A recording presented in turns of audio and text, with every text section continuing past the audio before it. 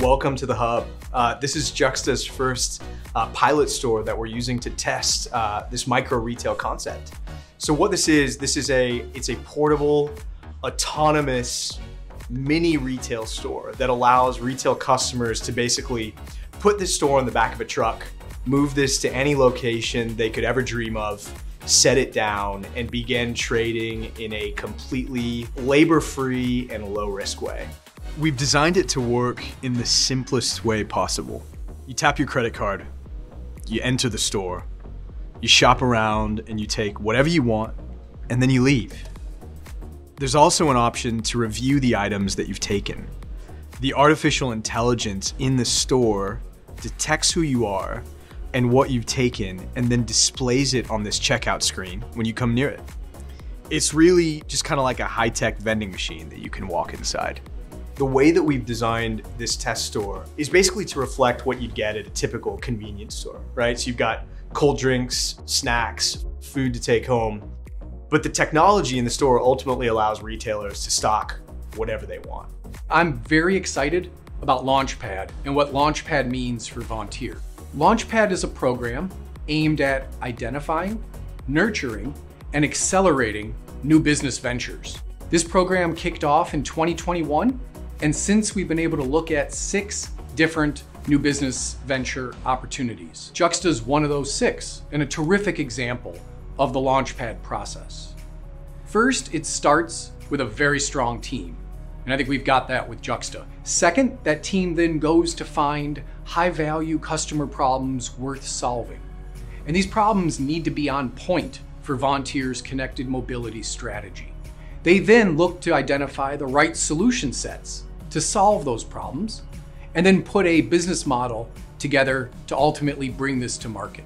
Juxta fits uh, squarely in the center of our mobility strategies, going across both our convenience, retail, car wash, and environmental solutions business. It really captures on some of the great growth drivers we're seeing within those industries around labor scarcity, changing consumer behaviors, as well as digital payments. And for those of our customers that are on the energy transition, it gives them a great opportunity to interact with consumers as they wait for their vehicles to charge. As we've seen through Juxta's last nine months, they've identified high value problems that are on point with our strategy and have a strong solution set and business model to win. So we are incredibly excited for Juxta now to accelerate on this innovative idea. When you look at what we've done here with Juxta, we've combined technologies from across Vontier to pursue a really interesting space. Within our operating companies, we've been building retail technologies for over 50 years. And we believe we have a strong right to play in autonomous micro retail. And most importantly, we believe we have a winning strategy and team. There are several exciting use cases for Juxta. You start with a fuel-only site where you can't have a traditional convenience store, satellite stores uh, that help retailers get closer to their consumers than the traditional format does, the expansion of EV charging, now potentially with core amenities, but also interestingly, uh, seasonal locations, beaches, resort towns, because the hub is designed to be portable. And every time we talk to our customers, we hear of new use cases that excite the heck out of us. So we've got a really exciting couple of years ahead. This year in July, we are planning to launch Juxta in the North America convenience retail market.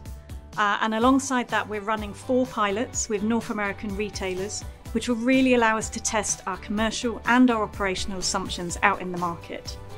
Next year, we're planning to launch in Europe, and we're also planning to launch a Juxta Hub offering for the EV market. And then longer term, when we look beyond that, we're planning to move into bricks and mortar in the US, in Europe, and beyond. So if you find yourself this year in Greensboro, Texas, Colorado, Georgia, or New Mexico, go find the hub and step inside and let us know what you think.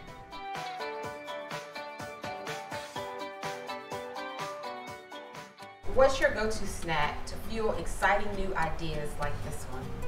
Oh man, my my go-to snack is always sugar-free Red Bull and, and white Tic Tacs. That's that's my go-to every morning. Uh, so I'm probably a bit healthier than Steve in that I like an oatmeal bar and a nice healthy bottle of smoothie. So my go-to snack would be a vitamin water and maybe uh, I really like those Miss Vickie's jalapeno chips.